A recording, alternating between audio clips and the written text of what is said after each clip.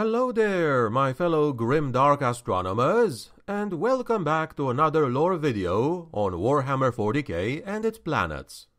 Since relatively recently I did my best to revive this series with a video on Luna, I thought it was time to both make another video in the series and expand on the previous episode. And what better way to expand on Luna than talk about the entire solar system? Please note that we're not gonna talk about Mars or Terra in this video, as I already talked about Mars before, and Terra will get its own video, or two. I am your host, the Grimdark Narrator, and without further ado, let us learn more about the Sol system in 40k, shall we? We will start outwards from the Sun, with Mercury. Mercury is a small, dead world, but also a mining world orbiting very close to Sol. Despite its unforgiving conditions, shoal facilities operate in Mercury's orbit. During the Horus Heresy, Alpha Legion infiltrators work with anti imperial scavenger clans from the area. Venus Venus is an inner planet of the Sol system, and the second closest to Sol. During the early stages of the Great Crusade, Venus was conquered by the Iron Warriors Space Marines during their so-called Mer Yasht campaign. The planet was dominated by war witches who fielded armies of litho golems. After the formation of the Imperium, Venus would play host to a wide variety of luxury resort orbitals, all intended to help the one percenters of the Sol system find respite and relaxation. Ceres. This is a small dwarf planet or planetoid located within the Sol system's inner asteroid belt. During the Horus Heresy era, Ceres was home to Vox relay and communication stations that help with communications between the inner and outer reaches of the system. It was also home to various orbital habitat stations, which were engaged in the industrial mining of the asteroid belt. Jupiter Jupiter is a gas giant orbited by a complex web of dozens of smaller satellite moons. It is almost a solar system in miniature, with the gas giant at its core rather than the blazing orb of a sun. The cloud of satellites and Trojan asteroids surrounding it are full of human colonies, manufactoria, and mechanicus forges, powered by drinking in the radiation surging from the mammoth planet. They are also feeding on the mineral riches that in centuries of exploitation have yet to be fully exhausted. Jupiter is the shipyard of Terra, and its sky was forever filled with vessels. Centered on Ganymede and a dozen other smaller moons, space docks and fabricators worked ceaselessly to construct anything from single crew Raven interceptors to the gargantuan hulls of mighty battleships. The early history of Jupiter remains largely lost to Imperial savants. During the Age of Strife, Jupiter's moons were occupied by cruel Xenos overlords of an unknown race. Following the Treaty of Mars, when the Red Planet was incorporated into the burgeoning Imperium, the Great Crusade finally began in earnest. The rest of the solar system was the first region of space to be conquered by the Emperor and his newly rearmed and re-equipped Legiones Astartes. In the late 41st millennium, the Jovian shipyards still play a vital role in the construction of fleets of the Imperial Navy in combination with the Ring of Iron of Mars itself. The space docks and orbital workshops that circle Jupiter, like an artificial ring of more moons, are home to the millions of technomat and drone servitors. They, in turn, work under the supervision of Mechanicus artisans and tech priests to build the ships of the Imperial Navy. Each vessel is a vast undertaking, some taking even decades or centuries. Many of those working on the construction of a warship will live and die in the process. Each of the Imperium's warship designs is constructed by only a single Jovian orbital shipyard. For example, the Emperor class battleship, as well as the Tyrant and Dominator class cruisers, are typical of the Imperial warships produced at the Jovian shipyards and are each produced by a completely different orbital manufactoria. The Jovian shipyards are also responsible for the manufacture and production of the plasma drives that provide power to all the starship systems.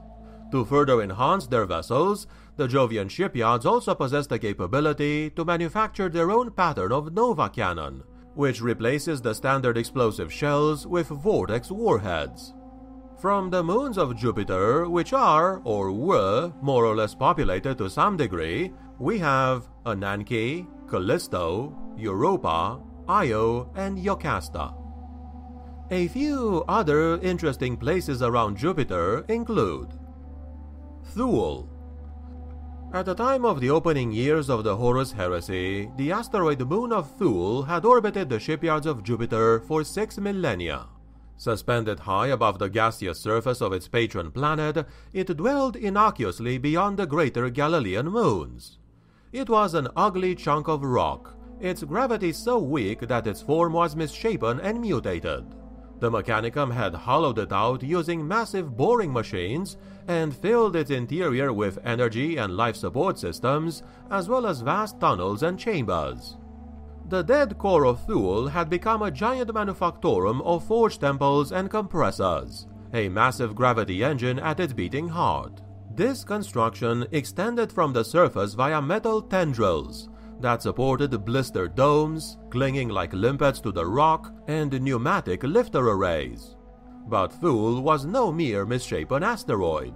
It was an orbital shipyard of Jupiter, and the place where the word-bearer's Apocalypse-class battleship, the Furious Abyss, was clandestinely built. Following its completion and subsequent launch, those same elements destroyed Thule, so there would be no witnesses that would verify the vessel's existence. Kadal. Kadal was a satellite munition fortress and one of the main reserves of fleet ordnance in the Sol system.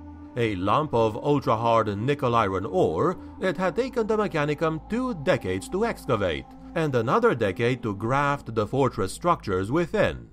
Nova shells, torpedo warheads, macro shells, propellant and explosive precursors, all of it lay in vibration and temperature controlled dark at the core of the rock. When a warship wanted rearming, it would approach and hold anchor away from Kadal. Barges would then shuttle the munitions out and return. Nothing and no one approached closer than several thousand kilometers. Anything that tried was greeted by Kadal's formidable defenses. When dealing with enough destructive material to crack open a moon, there were no acceptable risks. During the later years of the Horus Heresy, at the opening phase of the Solar War, the Alpha Legion instigated an anti-imperial revolt and Kadal was subsequently destroyed. Saturn Saturn is a massive, ringed gas giant and the sixth planet of the Sol system.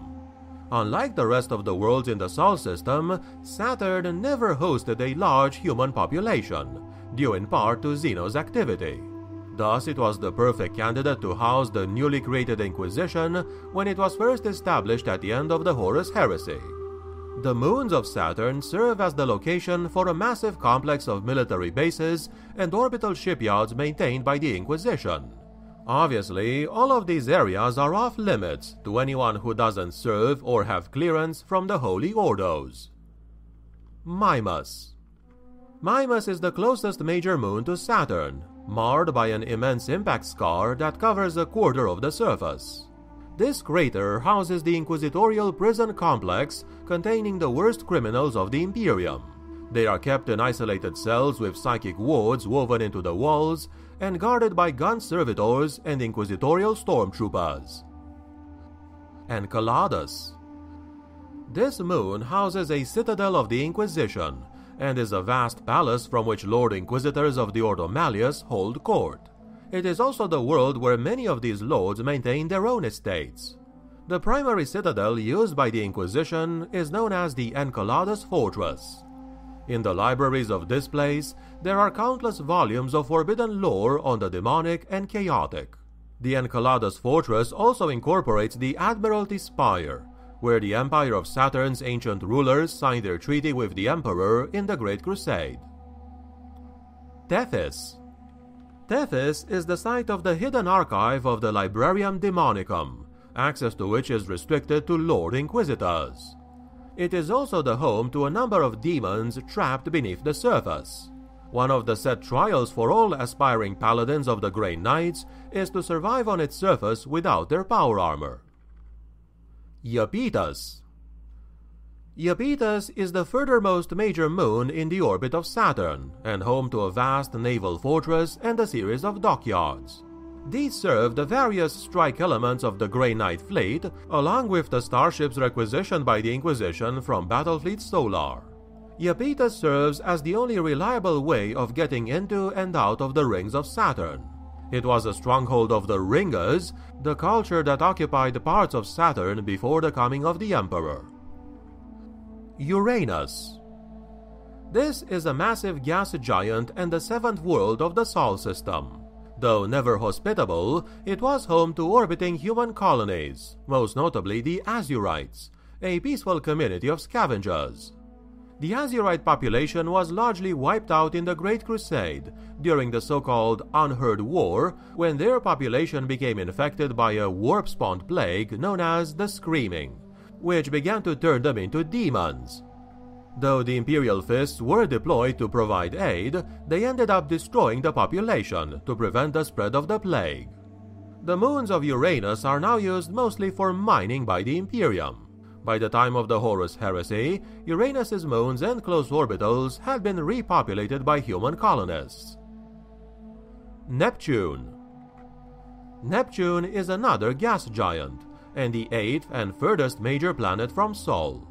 It was first colonized by humanity during the era known as the Age of Terra. By the time the Emperor had reconquered Neptune for the Imperium during the Great Crusade, its inhabitants had been transformed into vile mutants, by the isolation from Terra and the harsh environment. Pluto Pluto is a small dwarf planet located in the outer rim of the Sol system. During the Great Crusade era, it was home to major relay stations and defense stations that were responsible for warning Terra of any imminent invasion. During the Horus Heresy, this world and its accompanying moons was the site of a major Alpha Legion attack in what became the first major engagement in the Solar War. And this, my friends, has been what I wanted to tell you about the Sol system in the Warhammer 40k setting. I am honestly sorry there isn't more lore on some of these planets, as I would have gladly made a special video for each one. Alas, this is more or less what we have. Maybe I should make videos on these planets from a present day astronomical point of view. Was this episode informative or entertaining? In that case, please click the like button and subscribe for future content. And if you'd like to help me keep the channel alive, please visit my Patreon page, the link for which is in the video description. Thank you very much for watching to the end, and I wish you all an awesome day. The Emperor protects.